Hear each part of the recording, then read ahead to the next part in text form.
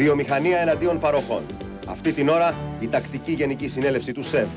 Τι θα πει ο Πρωθυπουργός Κώστας Σιμίτης το απόγευμα; Υπερκολοσσού στον κλάδο των κατασκευαστικών γεννούν τα σχέδια του ΥΠΕΧΟΔΕ. Ανεβαίνει ο πυρετός των συγχωνεύσεων. Ποιοι αποκομίζουν ωφέλη από την ανοικοδόμηση των Βαλκανίων; Κρίσιμο δεκαήμερο για την επιθετική προσφορά του ομίλου Λάτσι προς τους μετόχους της Τράπεζας Εργασίας. Δινή ελιγμή της Eurobank. Ευθεία σύνδεση με το χρηματιστήριο. Ποιες τάσει επικρατούν σήμερα και γιατί; Πού κρύβεται η παγίδα, πού βρίσκεται το κέρδος; Συζητάει στο στούντιο του Sky ο έμπειρος χρηματιστής Κώστας Πεντεδέκας με τον Γιάννη Τσαραγκλή.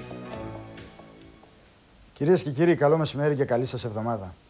Ταχύτερες διαρθωτικές αλλαγές, ιδιωτικοποιήσεις, προσήλωσης στην πολιτική σύγκλησης και ρεαλισμός στι παροχές είναι το στίγμα της διοίκησης του Συνδέσμου Ελληνικών Βιομηχανιών στη φετινή τακτική Γενική Συνέλευση που έχει, που έχει ξεκινήσει από το πρωί και κλεισμένων των θυρών στο ξενοδοχείο Χίλτον. Το απόγευμα, παρουσία του Προέδρου της Δημοκρα... Δημοκρατίας Κωστή Στεφανόπουλου θα απευθύνουν χαιρετισμό ο Πρωθυπουργός Κώστας Σιμίτης, ο Υπουργός Εθνικής Οικονομίας Γιάννους Παπαντονίου, με έμφαση στην προσήλωση της κυβέρνησης στην πολιτική σύγκληση και στο κυνήγι των μακροοικονομικών μεγεθών. Λεπτομέρειες για την ομιλία του Πρωθυπουργού προς τα μέλη του ΣΕΒ θα μας δώσει ο πολιτικός μας συντάκτης Αλέξης Παπακοσταντίνου, που είναι στην τηλεφωνική μας γραμμή. Αλέξη. Καλό μεσημέρι Γιάννη, καλό μεσημέρι κυρίες και κύριοι. Πράγματι με ιδιαίτερο ενδιαφέρον αναμένεται η ομιλία του Πρωθυπουργού το απόγευμα στην Γενική Συνέλευση του Συνδέσμου Ελληνικών Βιομηχανιών.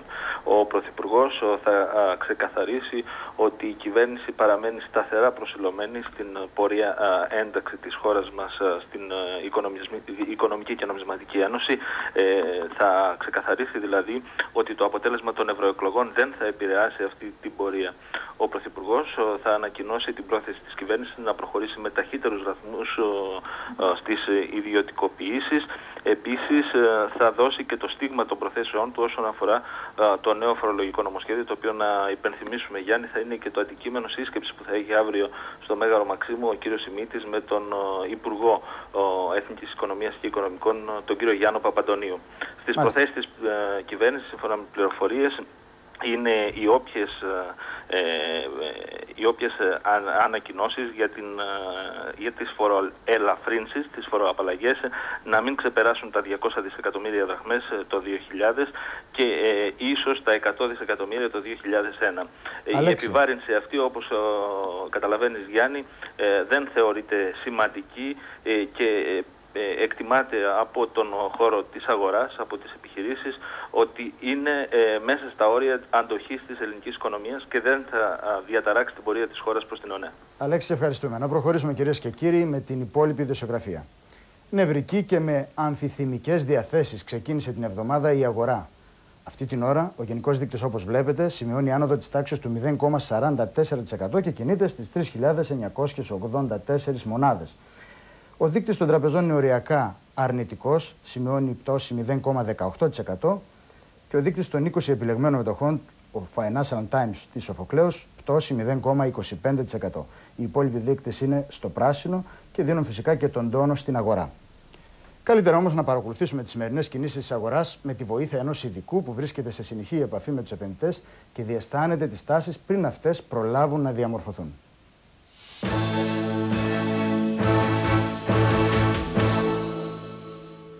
Έχουμε μαζί μας σήμερα τον πρόεδρο της ομώνυμης χρηματιστηριακής εταιρείας και γενικό γραμματέα του ΣΜΕΧΑ, τον κύριο Κώστα Πεντεδέκα. Κύριε Πεντεδέκα, καλώς ήρθατε στο Sky. Χαίρετε κύριε Τσάκλη.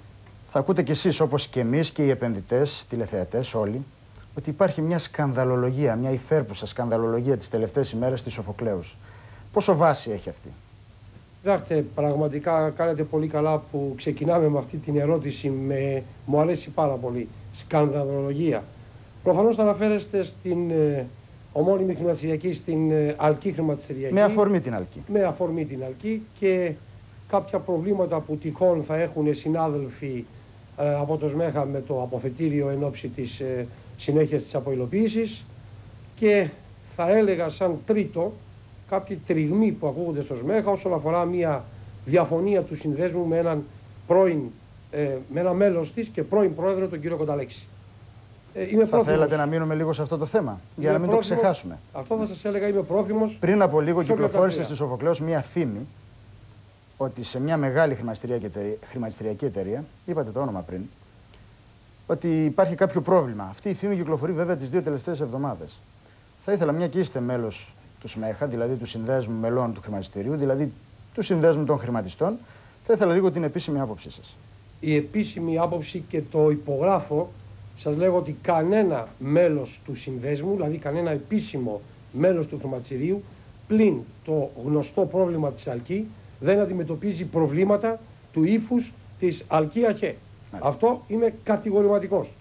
Τα προβλήματα που τυχόν αντιμετωπίζουν μέλη μας και όσον αφορά τα προβλήματα με το κεντρικό αποθετήριο, τις απουσίες πολλές φορές, μερικές ώρες ή μερικές μέρες αν θέλετε από την συνεδρίαση, αυτό που ακούτε είναι έξω κάποιο μέλος, είναι προβλήματα ρουτίνας, έχει να κάνει με την αποϊλοποίηση, σχεδόν οι περισσότερες χρηματιστηριακές, τα περισσότερα μέλη έχουν προβλήματα με αυτήν την αποϊλοποίηση, είναι τεχνικής υφής και όχι ουσίας. Θα ήθελα λίγο, σε αυτές τις περιπτώσεις οι επενδυτές οι οποίοι έχουν κάποια εταιρεία η οποία βρίσκεται εκτός συνεδρίασης για αυτούς τους λόγους, τι να κάνουν, τι τους συμβουλεύετε να κάνουν σε αυτές τις περιπτώσεις; Υπομονή. Υπομονή τα μόνο. προβλήματα μπροστά στο μέγιστο καλό που θα γίνει όταν συντελεστεί και ολοκληρωθεί η αποϊλοποίηση, είμαστε ήδη κοντά στις 90 εταιρείες, κύριε Τσαραγκλή. Ένα όνειρο που πριν μήνες σήμερα είναι πραγματικότητα. Με όλα αυτά που συμβαίνουν, με όλα αυτά που συμβαίνουν από πλευράς αποθετηρίου, χρηματιστηρίου και μελών, θα ξεπεραστούν. Το καλό είναι ότι η αποϊλοποίηση είναι, πρέπει να τελειώσει οπωσδήποτε. Θα ήθελα να σας θέσω ένα ακόμη ερώτημα το οποίο προέκυψε σήμερα. 30 ε, Ιουνίου, Ιουνίου επρόκειτο να τελειώσουν οι εκκρεμότητες με την παλιά υπόθεση της Κατσούλης χρηματιστηριακής. Τι θυμάστε, το 1997. Κάποιοι επενδυτές είχαν κάποιες υποχρεώσεις. 30 Ιουνίου τώρα επρόκειτο να τελειώσουν αυτές οι εκκρεμότητες, να τους πούν αν θα πάρετε χρήματα, αν θα πάρετε χαρτιά, τέλος πάντων τι θα γίνει. Με ενημέρωσαν σήμερα ότι λόγω της υπόθεσης της ΑΛΚΗ θα επιμηκυνθεί αυτός ο χρόνος, δεν ξέρω για πότε. Επισήμως λοιπόν ως μέλος της διοικήσεως του συνεγγυητικού που είμαι και, σε αυτή την, ε, και στο, στο Διοικητικό Συμβούλιο, η τελευταία ενημέρωσή μου είναι ότι προχωράει και μάλιστα έχουν αρχίσει και διανομές τίτλων ονομαστικών σε δικαιούχους. Μιλάμε για την υπόθεση Κατσούλης. Μιλάμε για την υπόθεση Κατσούλης. Δεν έχω καμία επίσημη πληροφόρηση για καθυστέρηση και μάλιστα αυτό που μου λέτε σε συνδυασμό με την ΑΛΚΗ. Τουλάχιστον επισήμως στο τελευταίο συμβούλιο έχει δοθεί το πράσινο φόρο και την εκαθάριση. Η πληροφορία αυτή έχει προέλθει από τους ίδιους τους δικαιούχους, από τους εμπλεκόμενους. Άρα εγώ. Δέχτηκαν δηλαδή τέτοια επιστολή, τέτοια ειδοποίηση. Επιστολή από πού, από επιστολή δεν ξέρω, ειδοποίηση.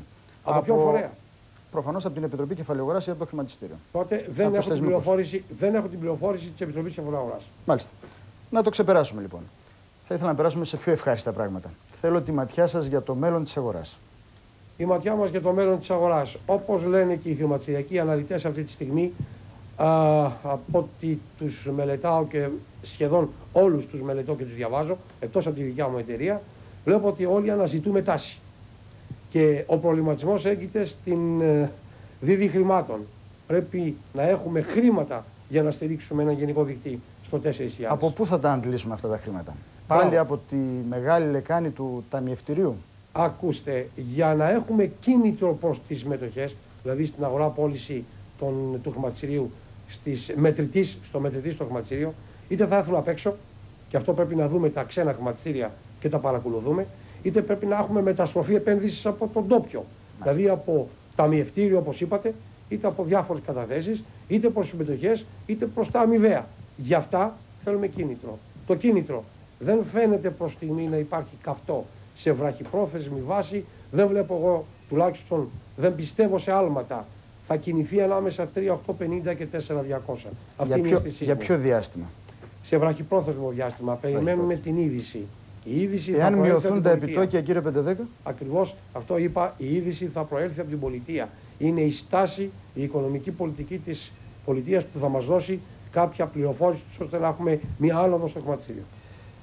Να πούμε και δύο λόγια για αυτό το εντός εισαγωγικών κόμμα των επενδυτών που συζητήθηκε πολύ. Ο αριθμός του, ο ακριβής αριθμός των Ελλήνων που έχουν ε, λογαριασμό σε χρηματιστηριακές εταιρείες και σε ΕΛΔΕ υπάρχει; Ε, θα μου επιτρέψετε εδώ να σας πω κάτι και να έχετε την, ε, την ε, άποψή μου. Καταρχάς δεν πιστεύω ότι υπάρχει κόμμα των ε, ε μετόχων. αυτό Αυτά, από όπου και αν λέγονται είναι ψευδή. Οι μέτοχοι που βασικά ενεργοί κωδικοί, οι τελευταίες μου πληροφορίες είναι γύρω στις 600 800 χιλιάδες, αλλά όσοι έχουν ανακατευτεί με την έννοια και αυτοί που γραφτήκανε για την εισαγωγή εταιριών για 10 ή 20 κομμάτια στις δημόσιες εγγραφές, μπορεί να φτάνουν τον αριθμό εν συνόλος στο 1 εκατομμύριο. Αυτοί οι άνθρωποι είναι πλουραλιστικής πολιτικής τοποθέτησης. Δεν πιστεύουν σε ένα κόμμα. Απλώς οραματίζονται τον θεσμό του χρηματιστηρίου. Ειλικρινή, διάφωνο και αποδοτικό. Να ξεφύγουμε από το κόμμα. Είπατε 600 με 700 χιλιάδες. Ενεργοί Οι ενεργοί κωδικοί. Αυτοί δηλαδή που κάθε μέρα ή ε, ε, κατά τακτά διαστήματα κάνουν πράξει στο χρηματιστήριο. Ακριβέστατα. Οι υπόλοιποι είναι αυτοί που μπαίνουν στις δημόσιες εγγραφές για μια φορά έστω στις δημόσιες των μεγάλων εταιριών Ακριβώς. και των αν μικρών δεν εγγραφών και των ξαναβγούνε- ιδιωτικών. Και αν δεν κάποια στιγμή να ξαναβγούν, προσπομίζοντα κάποια κέρδη τα οποία ε, είχαν. Άρα δηλαδή κάποιοι που λένε ένα 200, ένα 500 που ανεβάζουν τον αριθμό, εσείς λέτε ότι είναι φήμη. Ε, Δεν είναι ακριβής προσδοκία. πληροφορία. Ε, Προσδοκία. εγώ προσωπικά πιστεύω ότι αυτοί οι άνθρωποι θα γίνουν 2,5 εκατομμύρια. Θα έχουμε κίνητρο για 2,5 εκατομμύρια Έλληνες να έρθουν στο θεσμό του ελληνικού χρηματιστηρίου. Μπορεί το χρηματιστήριο, μπορείτε εσείς να υποδεχτείτε 2,5 εκατομμύρια επενδυτές; Τα πάντα είναι δυνατά σε αυτό το ελληνικό χρηματιστήριο. Εδώ με 600.000 και έχουμε καθημερινά μικρό προβλήματα, μεγάλα προβλήματα. να με μιλήσουμε 2,5 για- εκατομμύρια. Δεν ξέρω αν έχουμε χρόνο να μιλήσουμε για προβλήματα. Πετε μου, θέλω την Μπράβο. άποψή σας. Τα προβλήματα λοιπόν αυτή τη στιγμή είναι ρουτίνας και τεχνικά. Υπάρχει ένα σύστημα συναλλαγών που λέγεται ΑΣΥΣ. Είναι σχεδόν πεθαμένο, τολμώ να πω. Μα γι' αυτό και ξε- έχει ξεκινήσει η μελέτη του ΟΑΣΙΣ. Θα Δεν, εφαρμοστεί. δεν καταλαβαίνει ο κόσμος. Ασύς και Ασύς ο Άσης. είναι το αυτόματο ηλεκτρονικό σύστημα. ηλεκτρονικό το σύστημα σύστημα computers συναλλαγών. που κάνει τις συναλλαγές. Αυτόματο ηλεκτρονικό σύστημα συναλλαγών. Αυτό διαδέχτηκε την παραδοσιακή εκφώνηση από το 1992. Αυτό είναι σχεδόν ξεπερασμένο. Δεν μπορεί να το υπηρετήσει. Γι' αυτό εδώ και ένα χρόνο μελετάμε το OASIS, το ολοκληρωμένο αυτόματο καινούριο ηλεκτρονικό. Αλλά αυτό είναι τα πάντα δυνατά. Όχι τα 2-2,5 εκατομμύρια. Και άλλα τόσα. Και 10 εκατομμύρια. Τα, τα πάντα είναι δυνατά. Επίσης η αποϊλοποίηση. Να μην υπάρχει το settlement όπως λέμε τώρα με τα τσουβάλια μετακόμιση Ναι, ναι, ναι. Τα χαρτιά. ε, αυτό. Επίσης, ο διακανονισμός και καθάριση των δραχμών μέσω της τραπέζης. Η πολιτεία, οι θεσμοί και οι προληπτικοί κανόνες υπάρχουν. Αν τους εφαρμόσουμε και 10 εκατομμύρια μπορούμε να υπηρετήσουμε. Να κλείσουμε με αυτή την αισιοδοξία. Σας ευχαριστώ πολύ για την ενδιαφέρουσα συζήτηση, κύριε Πεντέδεκα. Και εγώ ευχαριστώ.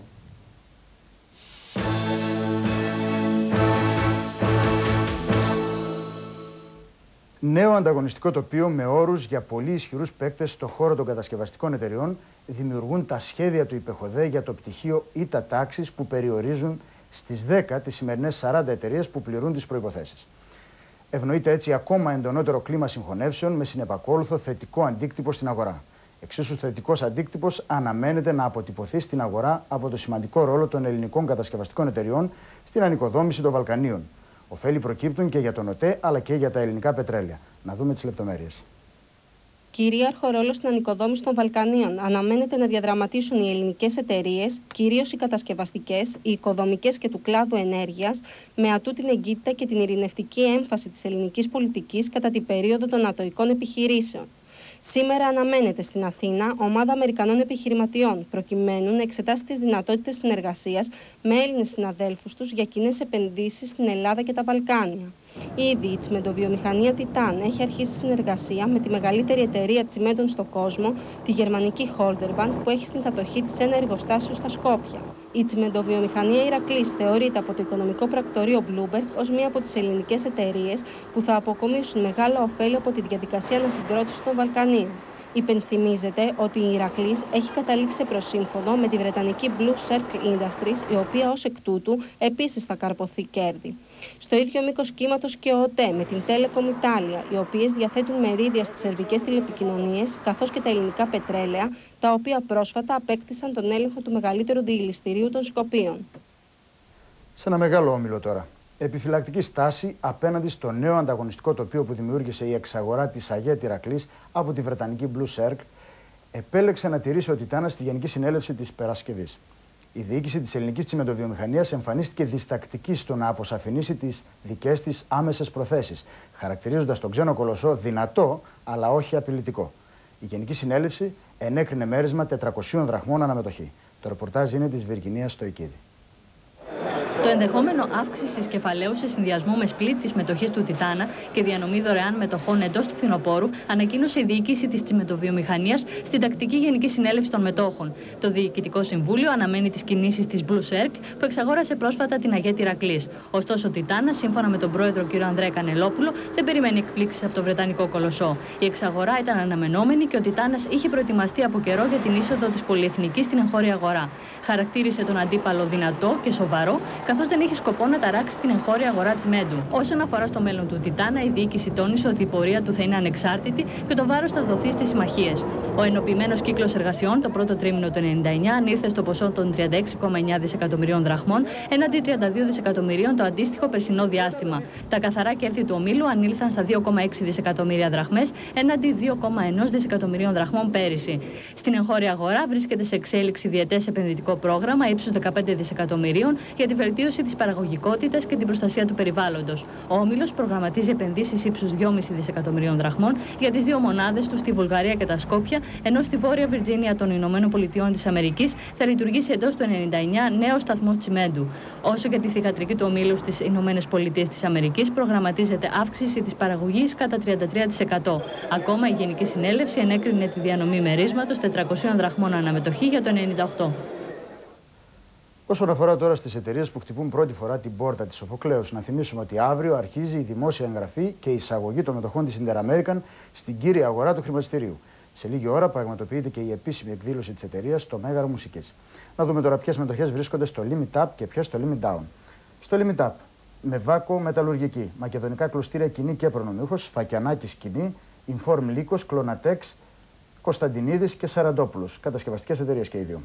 Και στο Limit Down, η ευρωπαϊκή πίστη κοινή και προνομιούχος είχε κάνει κούρσα τις δύο προηγούμενες εβδομάδες. Χαλιβδόφυλλα, ελληνική βιομηχανία ενδυμάτων, 3α κοινή και ετανέ Ευκλήδης. Να δούμε τώρα κυρίες και κύριοι τις διεθνείς αγορές. Με άνοδο έκλεισαν την εβδομάδα που πέρασε τα διεθνή χρηματιστήρια, απηχώντας κυρίως το θετικό κλίμα που δημιούργησαν οι ανακοινώσεις της Fed στη Wall Street. Με κέρδη έκλεισε σήμερα το πρωί και η αγορά του Τόκιο. Να ρίξουμε μια ματιά και στις ισοτιμίες, όπου είχαμε νέα κέρδη της δραχμής έναντι των περισσότερων από τα κύρια ξένα νομίσματα, συνδεδεμένα και μη. Κρίσιμο δεκαήμερο αρχίζει σήμερα για την επιθετική προσφορά του ομίλου Λάτση στους μετόχους της Τράπεζας Εργασίας. Σε εξέλιξη βρίσκεται το σενάριο της ανταλλαγής τριών μετοχών της Eurobank έναντι μίας της εργασίας συμμετρητά, αλλά όλα δείχνουν ότι ο όμιλος Λάτσι θα εξαντλήσει την διαπραγματευτική του δυνότητα μέχρι την τελευταία προθεσμία της 20η Ιουλίου. Να δούμε τις λεπτομέρειες στο βίντεο που ακολουθεί. Η αγορά έχει πλέον το λόγο στην εξέλιξη της υπόθεσης Όμιλος Λάτσι Τράπεζα Εργασίας, καθώς η εβδομάδα που διανύουμε θα κρίνει προς ποια πλευρά γέρνουν οι μέτοχοι. Σήμερα ξεκινάει η περίοδος αποδοχής της δημοσίας προσφοράς Λάτσι για την απόκτηση του ελέγχου της εργασίας, ενώ δεν έχει γίνει ακόμη γνωστή η έκθεση του Χρηματοοικονομικού Συμβούλου Warburg Dillon Reed για το εάν η συγκεκριμένη προσφορά είναι συμφέρουσα ή όχι.